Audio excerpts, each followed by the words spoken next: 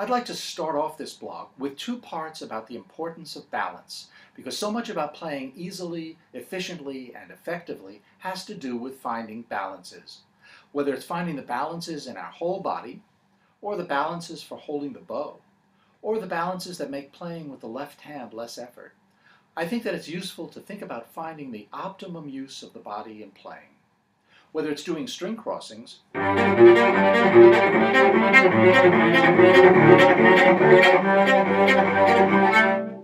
or doing spiccato strokes,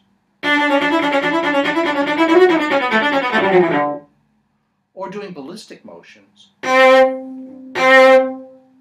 if we can harness the natural forces of nature and use them, playing the cello is easier.